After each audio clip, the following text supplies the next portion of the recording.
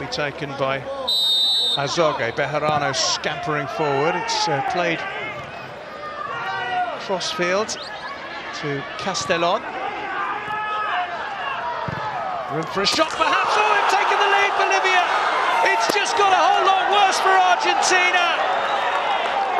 Danny Bejarano's low drive into the corner. And the nightmare is even worse than before. Cannot believe it in this stadium. There aren't too many Bolivian fans here, but they're celebrating a famous goal. Danny Bejarano it's a lovely strike. Walter Benitez can't get down to it. And horror upon horrors for the hosts. It's 1-0 to Bolivia.